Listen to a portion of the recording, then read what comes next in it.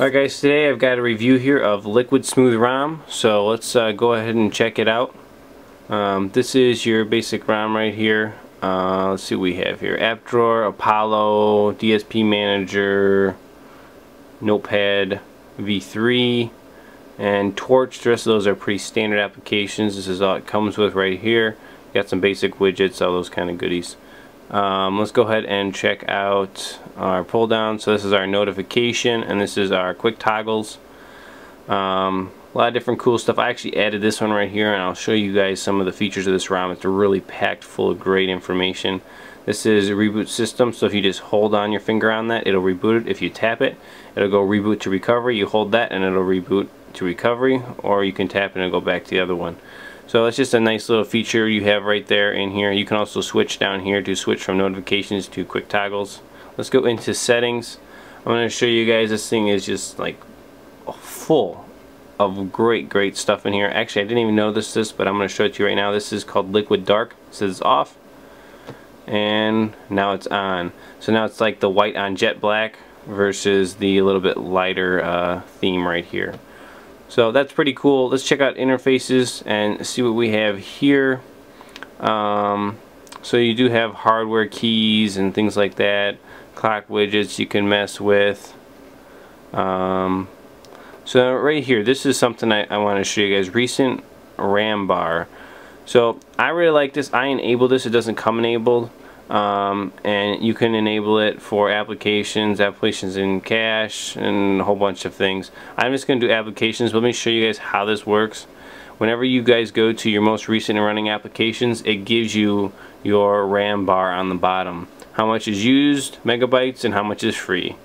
So I think that's a, a really nifty little feature there on the bottom here. So very, very cool. Let's go back into settings and show you guys some more uh, features here.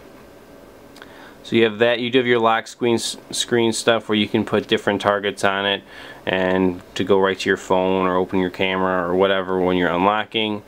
That is in there which is very nice. Uh, navigation, this just enables these navigation bar along here. You already have buttons, it just takes up screen space in my opinion. But if you guys like that, you can go ahead and enable those. Right there, I'm going to take those back off. Um, it also has performance. So you have performance controls for changing your min CPU speed and your max.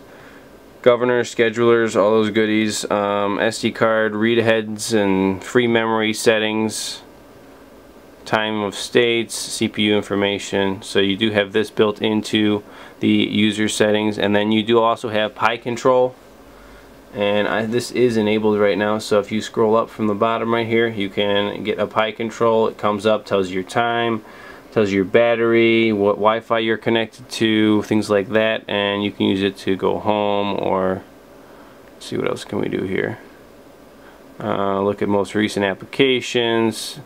So very cool Pie control. Comes with this thing. There's lots of settings in there lots of great information in there also. Um, power menu just when you turn the power off what comes up on there you can do sound panel and different things like that. So it'll be what comes up on that screen right there. Um, that's what you're adjusting right here. So you have some some good stuff there. Uh, power widgets. This will turn on these widgets right across the top Wi-Fi Bluetooth whatever and you can customize those however you want and you get rid of them and now they're gone so there's a whole another area of customization in there which is very nice. Uh, let's see, we got quick setting. So this is the tiles. Let me show you. Now you can adjust and add. Right here we can add something to this. For example, sound. And now it has a sound thing. So pretty cool. And you can just reset them all too if you don't want them the way they are. Reset to default and they go back to here. So and then obviously you always you have all their their different quick settings and stuff in here that you can mess with. Uh, let's see, the next, what do we have here? Status bar. Uh, you can do counts of messages, status bar type. This is where you can change your battery icon. So we'll do this one and we're going to do circle with percentages. Now it just changed your icon up there.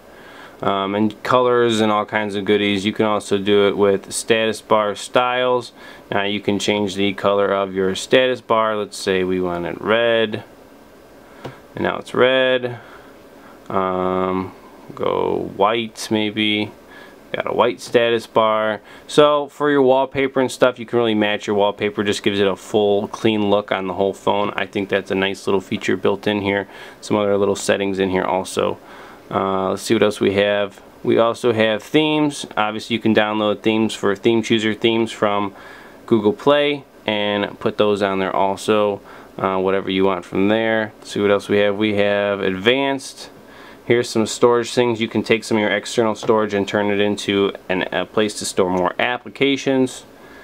So that is nice. Little couple quick uh, features right there you can also access. And then we have your super user application is built into uh, your settings.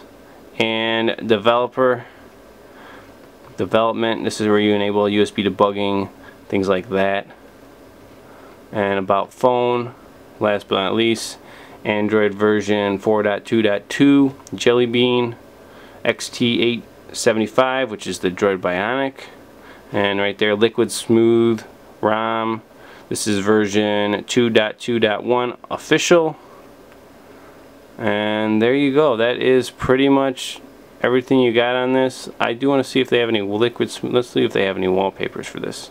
Oh they do. Very cool. Um, let's see what kind of wallpapers we have. There's one there's one. Load. Alright so I'm just gonna go with this one. This one looks pretty pretty slick. We'll set that wallpaper go back out of it. There we go. There we go guys, that is my little review of Liquid Smooth ROM on the Droid Bionic. Um, hope you guys like this. There's a lot more settings that I couldn't even go through, but just trying to give you a quick recap. This thing's just stock full of them, man. You can make this little thing look any way you want, really. So very, very nice. Obviously it comes with Nova Launcher built into it already. Um, hope you guys like it. If you did, please give me a big thumbs up. Check out my website, RootJunky, right here. Follow me on Facebook or Twitter. And we'll catch you guys next time. Thanks for watching.